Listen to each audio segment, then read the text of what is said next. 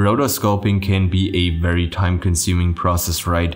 And if you've done it before, you probably know what I'm talking about. But what if I were to tell you that there is a feature inside of DaVinci Resolve that does almost exactly the same as rotoscoping with just one single click? And that feature is called the Magic Mask.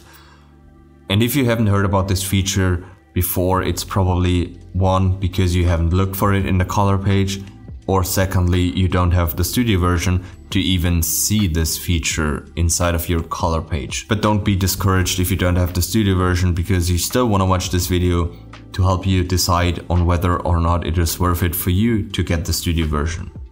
So let's jump into DaVinci Resolve and show you two main things on what you can use the Magic Mask feature for. So right in Resolve's color page, we can navigate to the Magic Mask feature in our toolbar that is right next to our tracker, the Magic Mask. First of all, we got person or features and then some play buttons which are very familiar to you if you've used the tracker before. Then we have a picker tool with a plus and a picker tool with minus. We get to that in a second.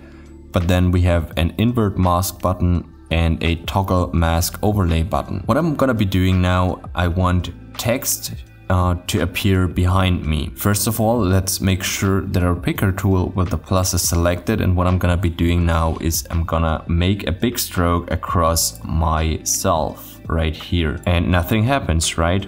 Well, that's because we have to toggle the mask overlay to see what DaVinci Resolve has selected. So let's go back to our Magic Mask feature and then toggle this toggle mask overlay button. And right now it turns red.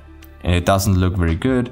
We get something missing below here and we get something missing on my shoulder here. And we got a little bit much selected around my head. So in order to fix that, we can go from quality faster to better. And this should immediately give us some crazy good results. The bottom is perfectly masked out. The monitor is perfectly masked out. We still got a little bit missing on my shoulder here, but that's totally fine. So what I'm gonna be doing right now is go to my node section, right click and add alpha output, right? And then I wanna connect this alpha output to this one. We have perfectly masked out ourselves. So what I'm gonna be doing now is I'm gonna go back to my edit page and you can see got myself basically rotoscoped. So I'm gonna hit Alt on my keyboard, left click and drag this clip up by one layer. Uh, then uh, deactivate the top layer, go back to the bottom layer, to the color page and then just get rid of this connection. And what I'm gonna be doing now is I'm gonna go back to my edit page, activate this clip right here bring this up to the third layer and then grab in a text node right there. And you can probably see that the text is appearing to be behind me, right? Um, but if I go forward a few frames, it is in front of me. And the thing why this happens is because we haven't tracked our mask. And in order to do that, select the clip, go back to the color page, and in the Magic Mask feature, you have the magic mask set on stroke 1 for the first frame and now we will have to track this to the end. So all we want to do is hit this button right here and DaVinci Resolve will track the mask across the whole clip. But that is a little bit too time consuming so let's just skip that. You get the idea right? But then there's another feature which I personally like to use the magic mask feature for and that is for color correcting and relighting my scene. So right now I have selected myself. So let's just get rid of this alpha output because we don't need that. And then toggle this mask overlay off so we can see what we're working on. And right now to relight myself, I'm gonna go back to my curves tool, select editable splines and select the top one and brighten up myself just a little bit and then push down the shadows just a little bit or we can increase this just a little bit more to just demonstrate this. Of course, I wouldn't do it this way. Um, maybe something like there, a little bit less.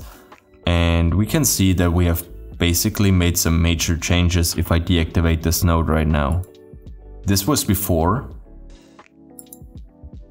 and this is after. So basically what I've created is way much more contrast on myself without affecting the background. Or what you could do is hit Alt and O to create an outside node, which then basically um, covers everything that is not you.